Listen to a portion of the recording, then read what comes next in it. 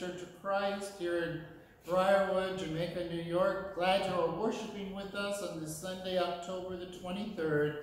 This is the 20th Sunday after Pentecost. Also, we'll be celebrating uh, part of the Children's Sabbath. For those who are able, let us please stand for the call to worship and opening hymn. How shall we know that we have found favor in your sight, O God? How do children know do that they are know created in your image? How do we raise up youth to always know your presence goes with them? How do we find this faith within ourselves, O God? With Moses we implore, show us your glory. With the With the children we seek seek your your graciousness now. Let us remain standing as we sing, Jesus loves me.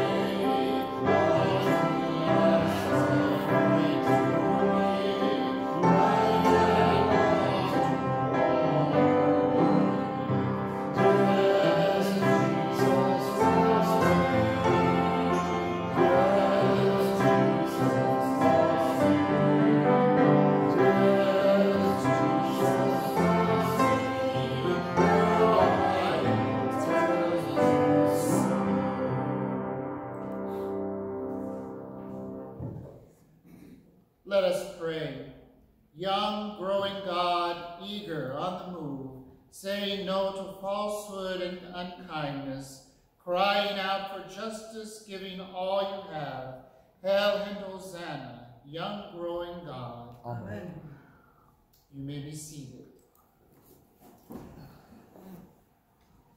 As we worship today, we do welcome you once again.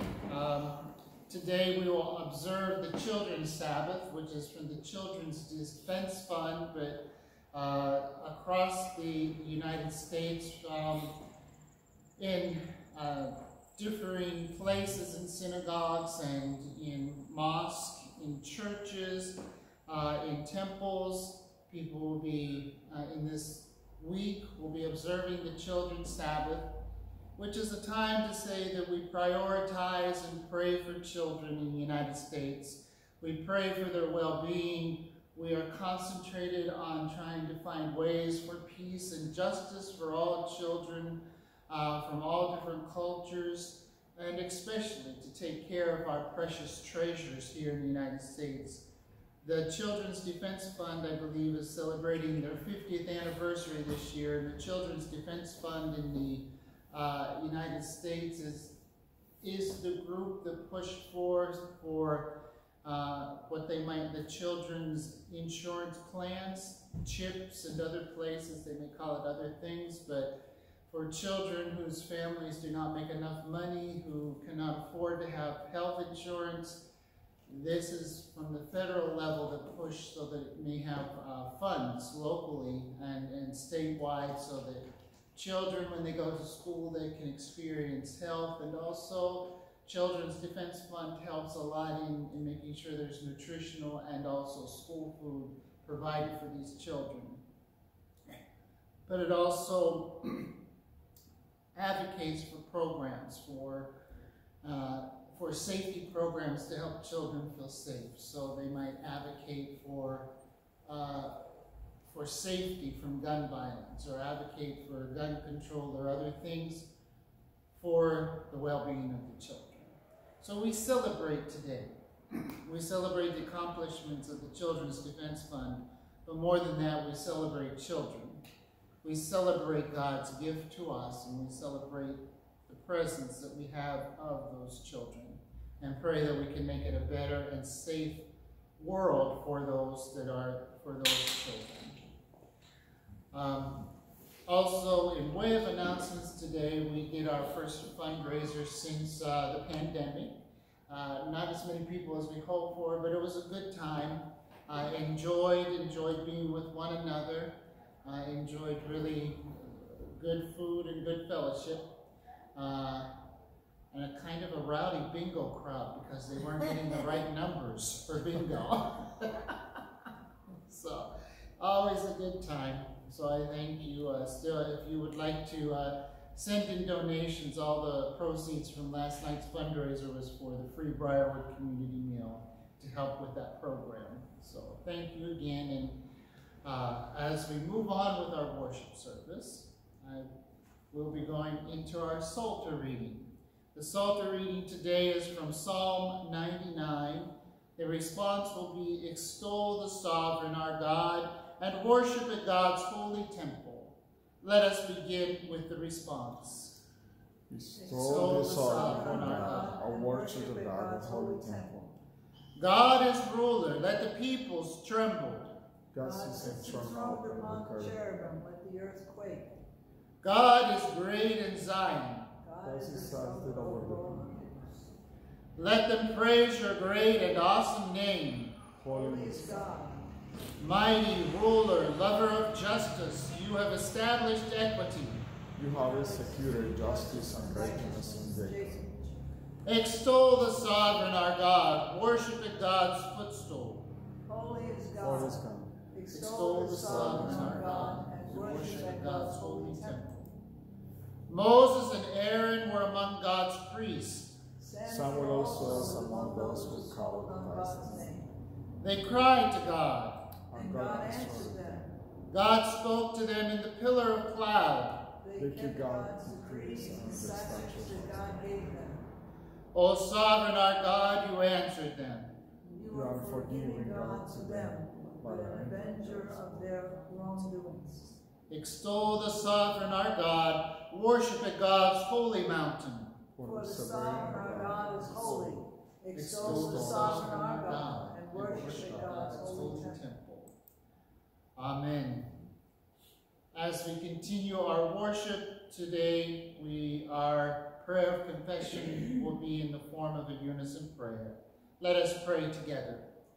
When we hear again, dear God, that others call us by name in prayers to you, we feel that you do count. When we see that others have noticed the most modest of our loving labors, we know a sustenance that renews the soul's energy. We as a congregation are the church.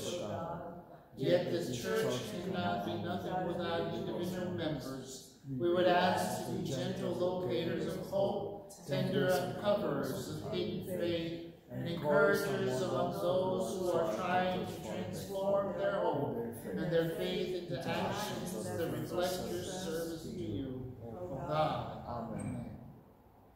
Hear these words of the assurance of God's blessing. In Jesus Christ, God knows and receives us as we are. Listen, give thanks, and live. Amen. The statement of faith for the day will be a new creed. For those who are able, let us please stand as we recite this together. We are not alone. We live in God's world. We believe in God, who has created and is creating, who has come in Jesus, the Word made flesh, to reconcile and make new. who works in us and others by the Spirit. We trust in God.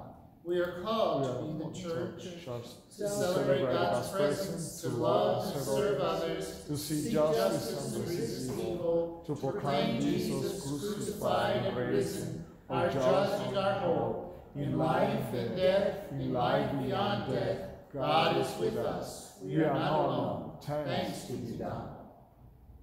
May the peace of Christ be with you. And also with you. Let us greet one another. For you at home, if you're sitting beside someone, grab their hand, give them a kiss on the cheek, or give them a hug and say, glad you're here. If no one is with you at this point, after the worship service, call someone up and say, good to hear your voice. Glad you're in my life. You may be seated. The first lesson of the day will be read by Sandra Wiesman. Exodus chapter 33, verses 12 to 23. Moses said to the Lord, See, you have said to me, Bring up this people, but you have not let me know whom you will send with me. Yet you have said, I know you by name, and you have also found favor in my sight. Now, if I have found favor in your sight, show me your ways, so that I may know you and find favor in your sight. Consider, too, that this nation is your people. And he said, My presence will go with you, and I will give you rest. And he said to him, If your presence will not go, do not carry us up from here. For how shall it be known that I have found favor in your sight, I and your people, unless you go with us? In this way we shall be distinct, I and your people, from every people on the face of the earth. The Lord said to Moses, I will do the very thing that you have asked, for you have found favor in my sight, and I know you by name. Moses said, Show me your glory, I pray. And he said, I will make all my goodness pass before you, and will proclaim before you the name, the Lord and I will be gracious to whom I will be gracious, and will show mercy on whom I will show mercy. But, he said, you cannot see my face, for no one shall see me and live. And the Lord continued, See, there is a place by me where you shall stand on the rock. And while my glory passes by, I will put you in the cleft of the rock and I will cover you with my hand until I have passed by. And then I will take away my hand, and you shall see my back, but my face shall not be seen. May God's blessing be added to these words we've heard. Uh, this passage that was just read, I'm always reminded of the hymn Rock of Ages. so uh, as we understand to enjoy God's full glory means to have the terror and everything else that goes with that as we are not so, so holy as to absorb God's presence. So we are glad that that rock of ages does hide us and enables us to feel the presence without feeling that terror and, and horrible burning, clenching fire of judgment. At this time, we have a blessing for the children, which is inspired by 1 Thessalonians, which you'll hear the lesson after the blessing. So let's listen to the blessing to the children. Grace and peace to you, our children. We will always give thanks to you. We pray for you constantly because we love you. We love you just as God loves you. We know, children of God, that God loves you so much. There are no words to express it. There are no wonders we can perform. But we know that the power of God is in you. We can see it in your faces. You remind us of God's love. Teach us to see the world as you do. Surprise us with the wonders you see. Show us what gifts God has given you, and we will bless you and protect you. And we will always give thanks for you. We will bless you in the name of our God. We will bless you again and again. Grace and peace to you, our children. Grace and peace to you who show us God's glory shining through your faces. Amen. Amen. Our second lesson of the day will be read by Nancy Britt. 1 Thessalonians chapter 1, verses 1 to 10.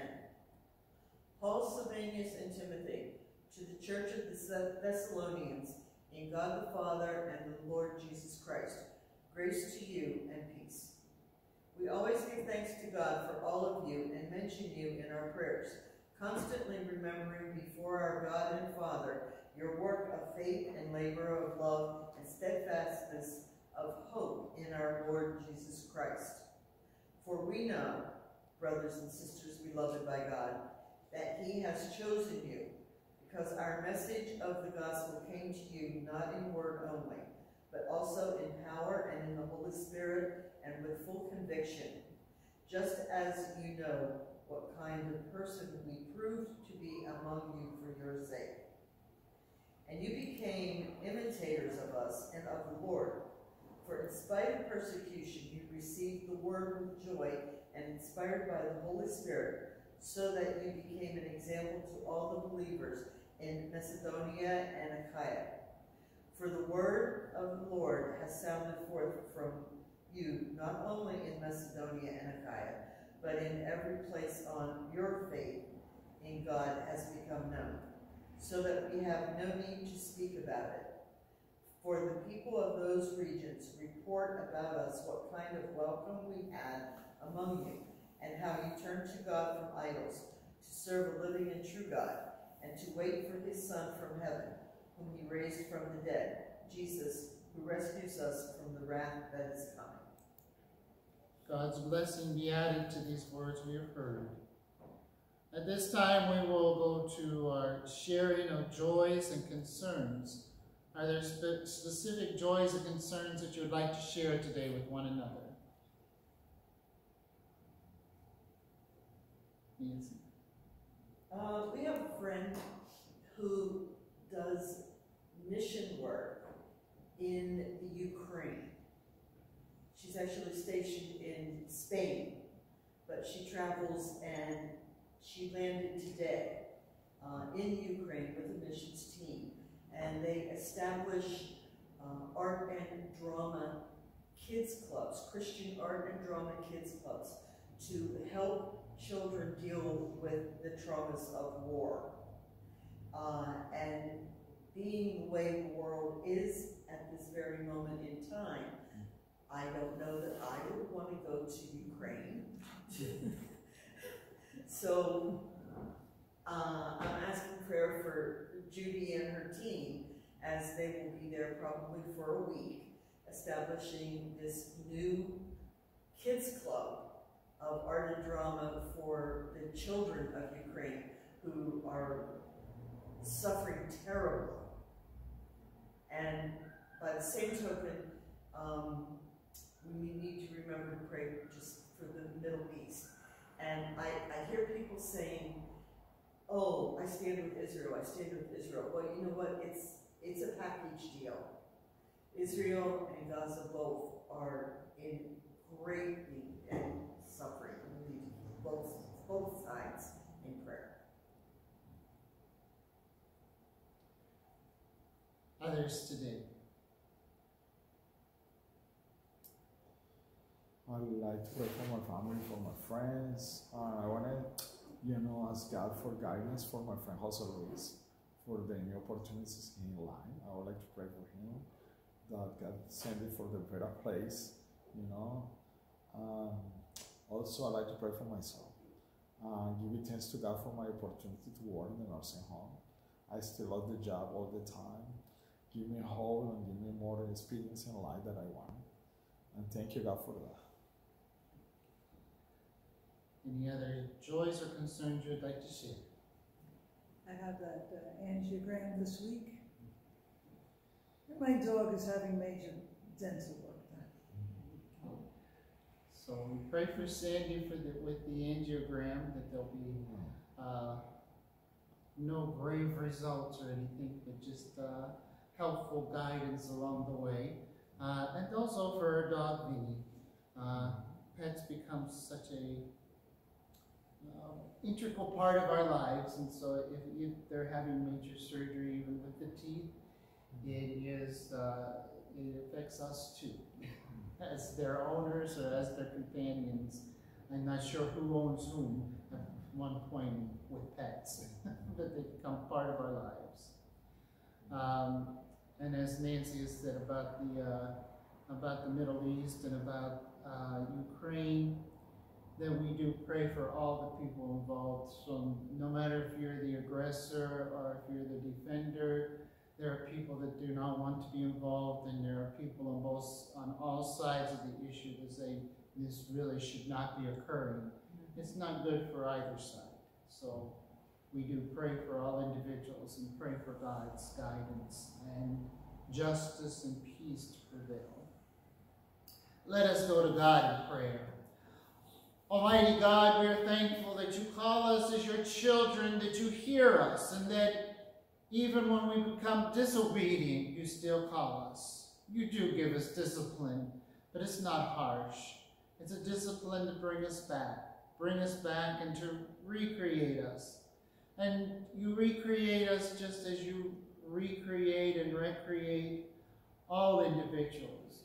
You who made us eh, from our from birth until now, who has formed us in our mother's womb, we ask for your healing hands upon those that are in need of mended bones, of need of muscles to be mended, need of different places within the body to feel that healing. But not only physical healing, we ask for spiritual and mental healing.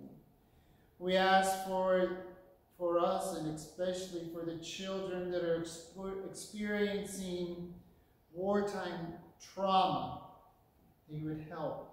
Help the helpers. Help those that are going as missionaries, those that are going as humanitarian workers, to help ease the pain and, and to help individuals find ways to work through anger, frustration, fear, and that whole full gamut of emotions.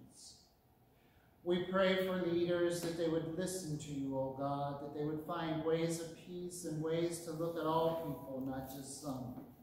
We ask for you, O God, to be with us as we struggle day to day, that we may not create a country war, but sometimes when we don't face our own problems, we recreate wars um, with other people and other individuals. Help us, O God, to always find your peace and find ways to work through. We give you thanksgiving for the joys in our lives of knowing our parents, grandparents, our loved ones that surround us, those that are close as sisters and brothers. We give you thanksgiving for those relationships and pray that those close relationships that help to sustain us in good times and bad times may be available to other individuals too, that they find those places of solace and joy, of dancing and of singing, of giving praise and enjoying all of our brothers and sisters together, for you who created us still sustain us. We ask for so many things, God, but we always give you glory for being there for us and always welcome us home we continue to pray to you as God, as your Son has taught us to pray. Our Father who art in heaven, hallowed be thy name. Thy kingdom come, thy will be done on earth as it is in heaven. Give us this day our daily bread, and forgive us our trespasses, as we forgive those who trespass against us. And lead us not into temptation, but deliver us from evil. For thine is the kingdom, and the power, and the glory, forever and ever. Amen. Amen. The gospel lesson today is from Matthew chapter 22, verses 15 through 22. For those who are able, let us please stand in respect for the gospel. Then the Pharisees went and plotted to entrap him in what he, in what he said. So they sent their disciples to him along with the Herodians, saying, Teacher, we know that you are sincere and teach the way of God in accordance with truth and show a difference to no one. For you do not regard people with partiality. Tell us then, what do you think? Is it lawful to pay taxes to the emperor or not? But Jesus, aware of their malice, said, Why are you putting me to the test, you hypocrites?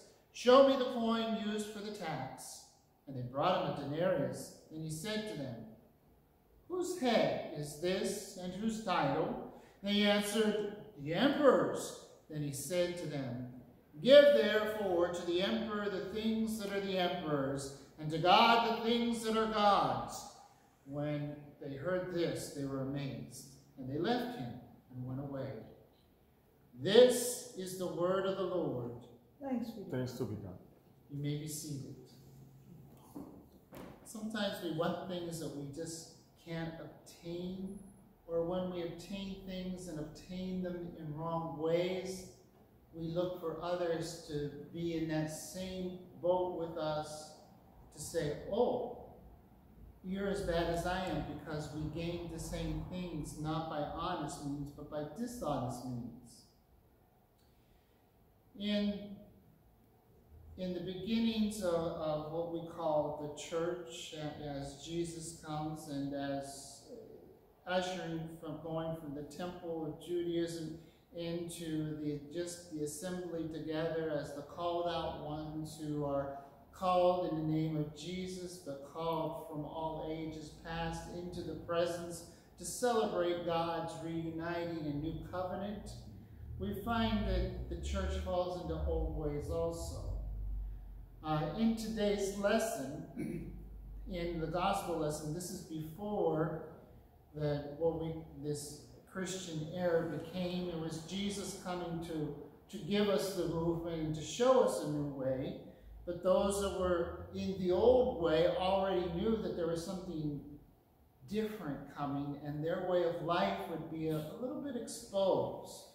Now there was something always within that called out congregation, even in Judaism, that knew that they shouldn't be always seeking wealth and taking money and everything else from, from, from, from all those that were around. God even used the the law and other things to make sure that they were relying upon God for their wealth and success.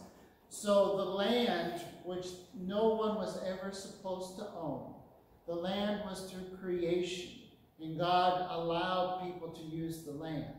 And so through the years, God would say, yeah, you can use this plot of land, you can grow things, but on the seventh year, you let it rest. You let it, you have seven years. So you grow the same thing on this plot of ground for six years, you let it rest. Let it, let it regain its nourishment and energy, and God will supply that uh, energy. And you're never to take everything from that plot of land, all the fruits and everything that it provides. You leave the gleanings for those strangers and foreigners. You provide for other people, just as I have provided you this land that you can use. And even so, the, in Judaism, we find that there was a year, a jubilee, where everything was set free. So if somebody was indebted to you, if someone had owed you something, if you had plot of land from some, somebody else, in theory, the year of Jubilee, everything was set free and went back to where everybody possessed their own things and not possessed the things of others. It was a way to say you can never take advantage of another individual. That individual's life and things are not yours to have. People like to have things. They like to have more than their neighbors. They like to look at others and say, you look what they got. I can have that. But I can have more. I can be better. So Jesus comes along and says, no, we're coming along and we're sharing everything together, making sure everybody's taken care of, just as God has created us all. That God sent, sent Jesus into the world to save us all, not just some people, not just the elite, but all people. So God was for all people, Jesus comes, and Jesus for all people. And these possessions that they're looking at, they're like, uh, Jesus is kind of letting everybody into the into our world. Jesus is going around. We kind of like that he's a good teacher now, but we think that his teachings and healings and bringing these crowds together should only be for us Jews. He should not let not be sharing this with the Gentiles. The Pharisees and the Sadducees said, let it just stay here and let him increase the temple's wealth.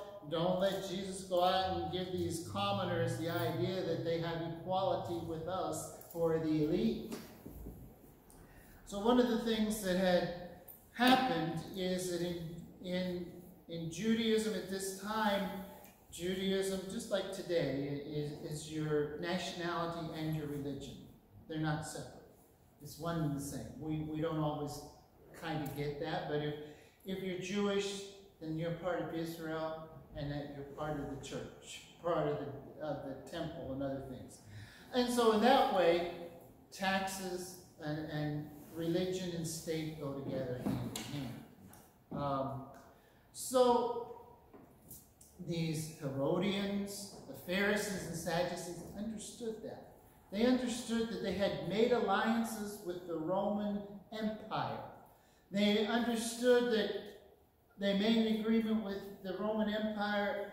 If we do this, you'll give X amount of the tax that you collect back to us, and we as heads of the temple and those that are around us then will use this money in the temple. But that means that I, as, as a Pharisee, can have more wealth than other people. And then this way, if we get this money collected and there's a temple tax, and then we can also let the Roman soldiers and, and the tax collectors use the temple area to collect more taxes, that means that the people will still be bringing in their sacrifices and their offerings. And so we can make these alliances, and the Pharisees and that are going, that's a pretty good deal. I'm sweetening the pot here. Don't care about these people down here that they may not feel quite right, but you know, this is looking good for me, God.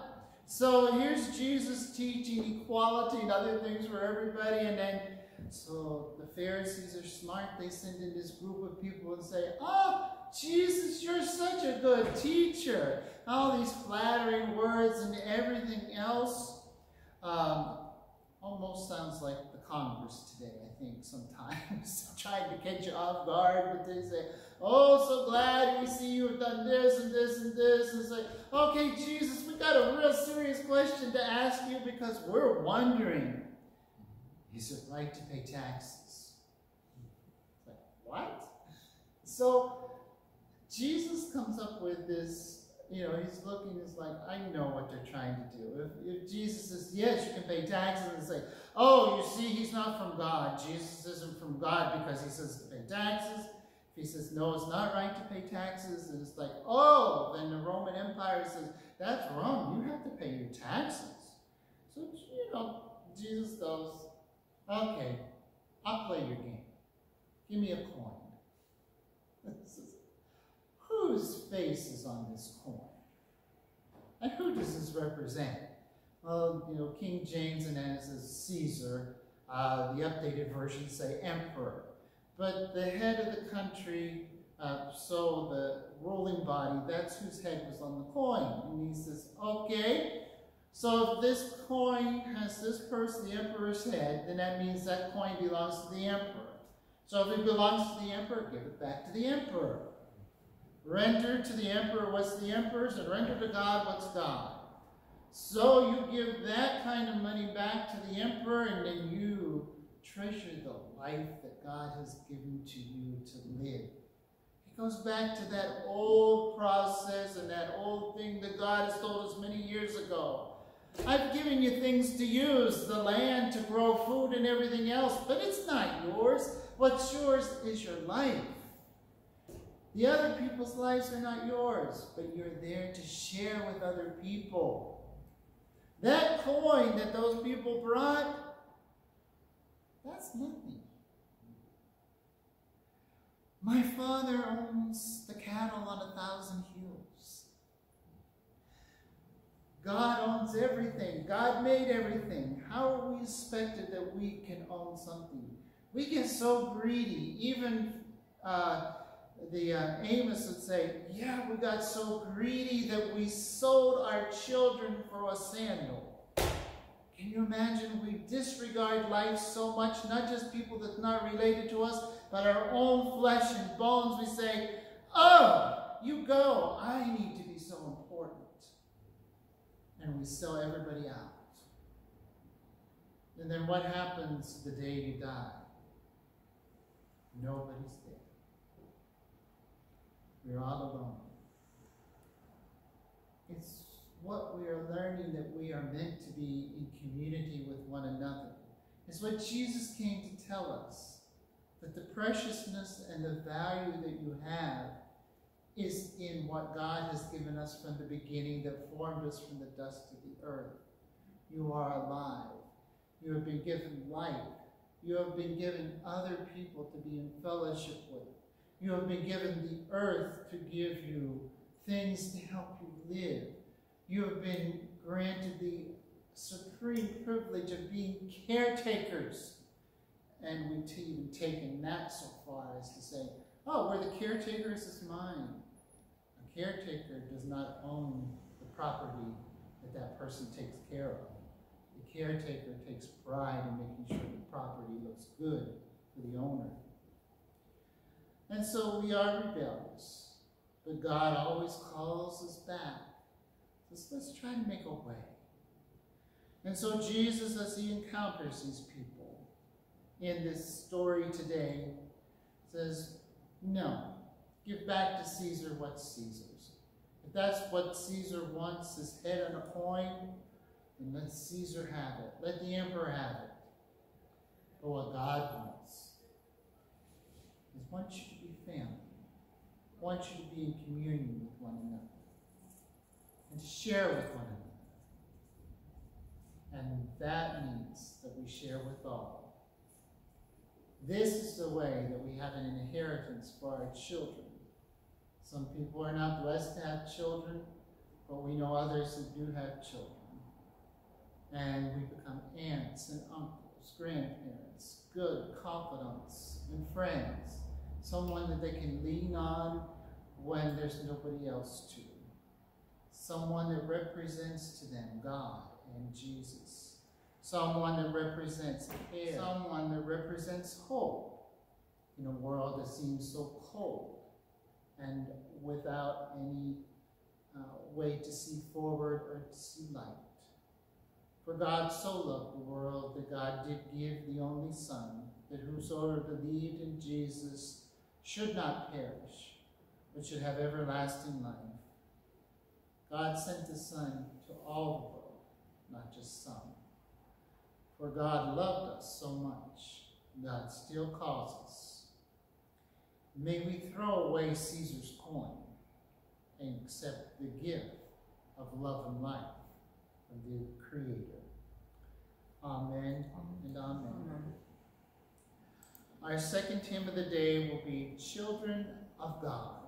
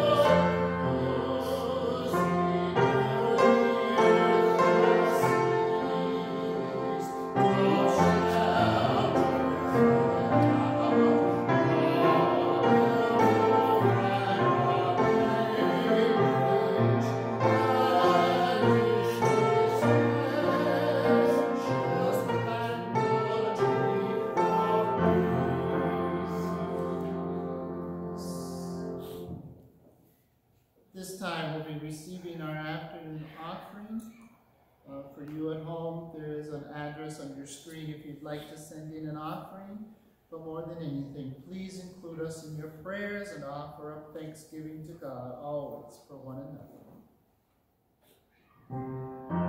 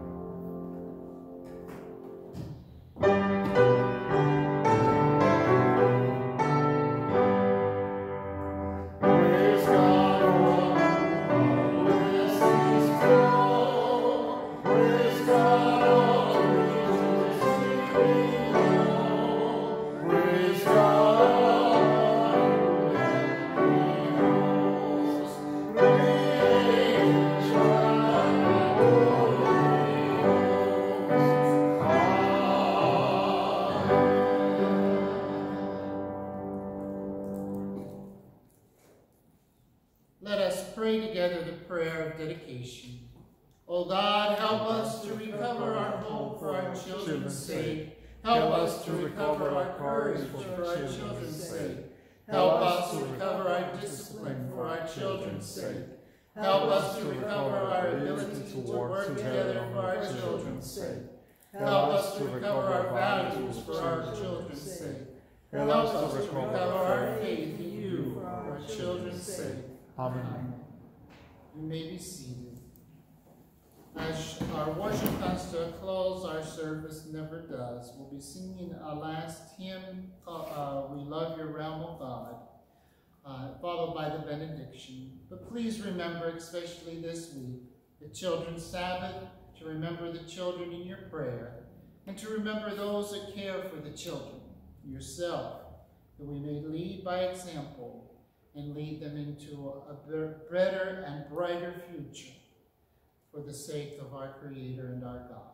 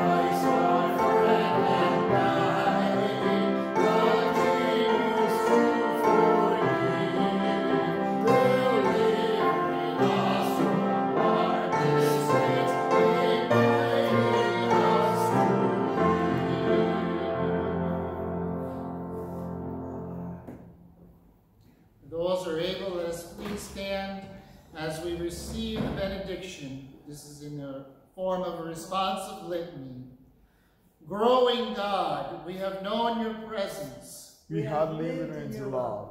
Show us your glory. Reveal, Reveal your glory in us. We will carry your glory from here. We will, show it to our, our children. children. Amen. Amen. Amen.